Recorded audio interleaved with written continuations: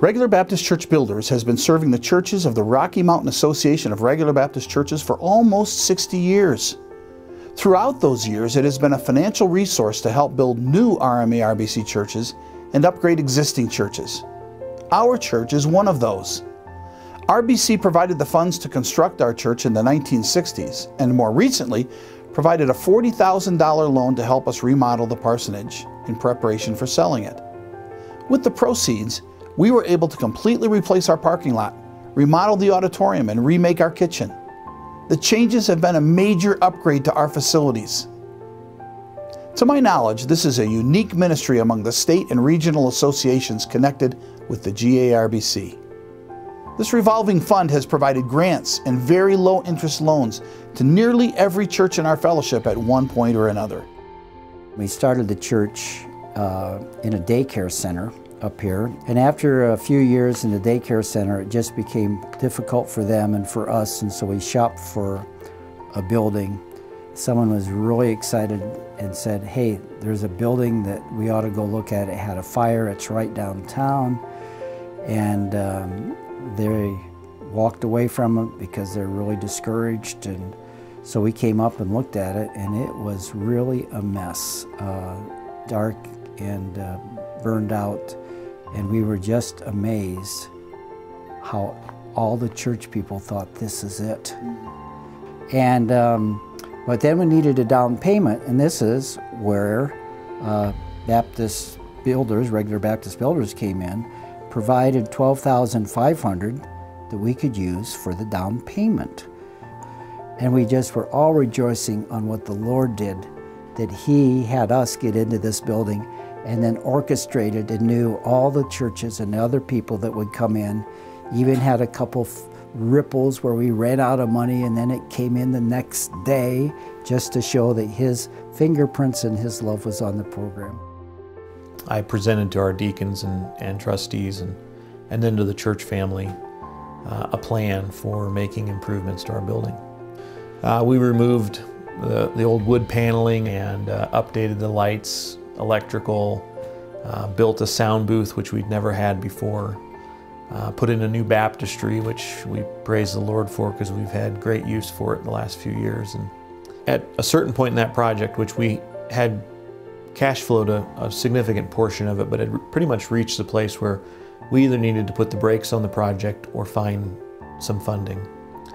And at that point, we were looking at making some very necessary improvements to the building functionally speaking. And so we replaced all the windows, uh, updated them with new uh, energy efficient double pane windows, and we added air conditioning.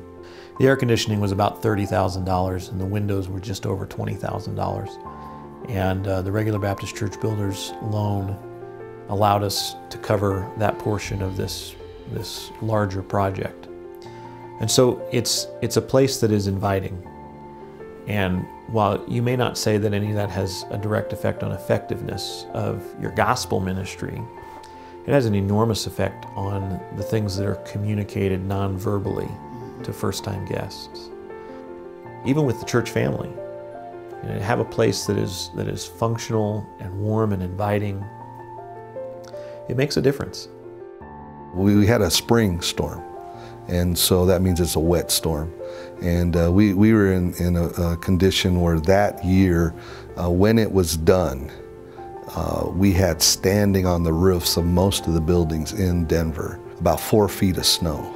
And so after it was done, I decided to come over here to the church building and just kind of see what, what happened and see, you know, hopefully nothing happened type of idea and just, you know, make sure our heaters were on and, and, and that type of thing. And all across the auditorium back here, uh, just everything cracked right down the middle uh, where the beams were. They weren't poking like through, you could see a beam, but you could see the cracks all the way through the sheetrock, everything, the whole length of the auditorium, front to back.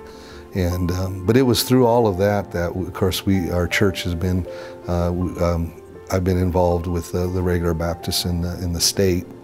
And uh, the fund, the, the Baptist Church Builders Fund, um, was uh, uh, talked about in different meetings and that.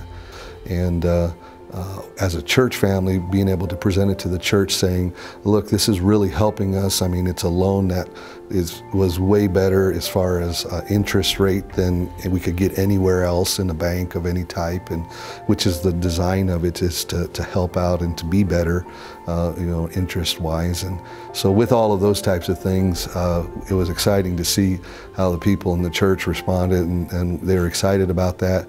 And uh, the end of the story is, is that we were able to pay it off almost in half the time.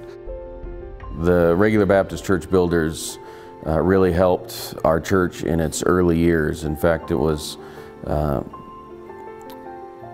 probably fair to say that without their help, this church would have really struggled to have a building at all. Um, going back and talking with some people, I, I discovered that uh, what uh, is sometimes referred to as the lean years here at Mountain Shadows. Uh, the RBCB tried to be really flexible with us. Um, at one point, there was zero interest, um, and we were just making principal payments. Uh, and there's even uh, was some forgiveness on some of the principal. The, they were very generous with us in, in some really difficult years. Um, and so we, we couldn't be more grateful for what they've done for us. We'd like to invite you to partner with us in this ministry.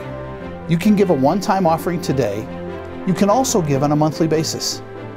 Thank you in advance for allowing God to use you to meet the needs of our Rocky Mountain Regular Baptist churches.